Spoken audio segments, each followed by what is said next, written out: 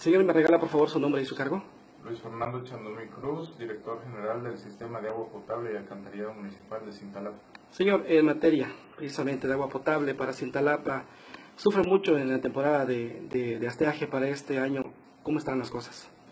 Efectivamente, la temporada de estiaje ya se hizo presente acá en cabecera municipal de Cintalapa. Inició en la semana pasada prácticamente en donde una de las inicia precisamente el proceso en donde la captación principal que tenemos, que es una galería de filtración ubicada en la 11 Poniente y Primera Norte, pues deja de captar el agua eh, derivado a que los niveles freáticos del, del, cauce del río Cintalapa pues bajan considerablemente y prácticamente la, eh, la galería de filtración queda en un, en un nivel arriba de, de esos niveles freáticos.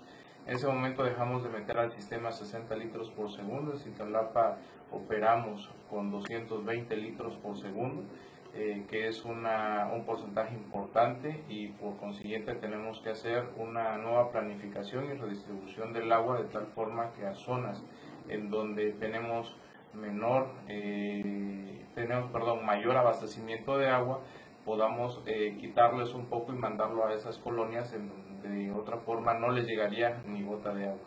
Señor, eh, a partir de la semana pasada, como usted comenta, ¿cómo se modificaron los, los, días para el abastecimiento?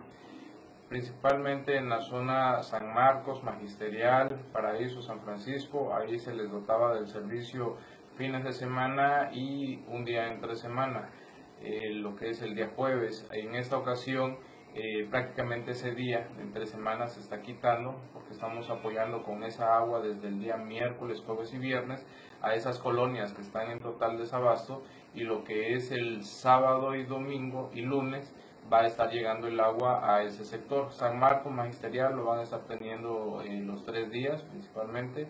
Por la zona de San Francisco, eh, ahorita que estamos analizando cómo se está comportando el avance de, de, nuestras aguas, la zona de San Francisco estaríamos llegando la tarde del domingo, lo que es el, el lunes. Y la zona de este, Santa Cecilia, lo que es el sábado. ¿Existen zonas o, o, o barrios en la cabecera que no les va a llegar agua, señor?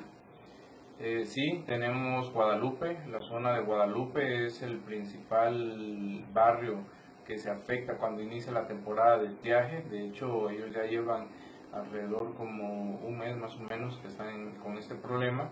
Eh, es una, un barrio que es, eh, con las condiciones que tenemos y la infraestructura que tenemos, no podemos recuperarlo en esta temporada de estiaje.